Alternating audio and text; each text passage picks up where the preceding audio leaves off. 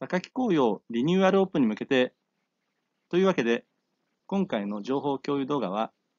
榊紅葉が現在、リニューアルオープンに向けて動いている活動を紹介します。今回その第1弾、散歩歩道の舗装工事編です。生活リハビリ元年、榊紅葉では今年は生活リハビリ元年を銘打ち、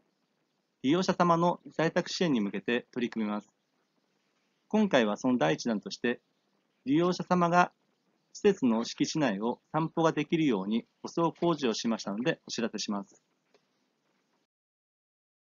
まずは舗装工事前の様子です。舗装前はアスファルトがガタガタで小石も多く、散歩するには転倒のリスクがありました。それでは舗装工事とライン引きの工事の様子をご覧ください。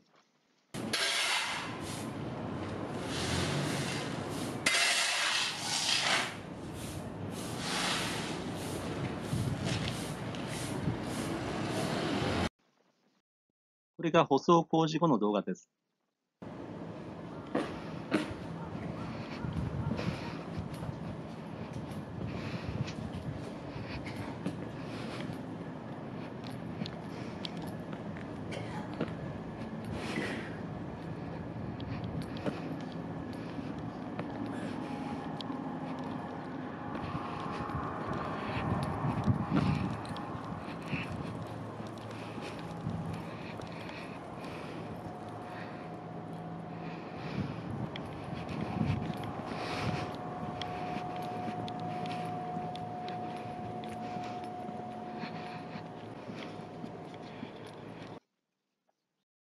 装工事後には地面の凹凸がなくなり、散歩コースにはラインも入りました。これで散歩専用のコースが出来上がりました。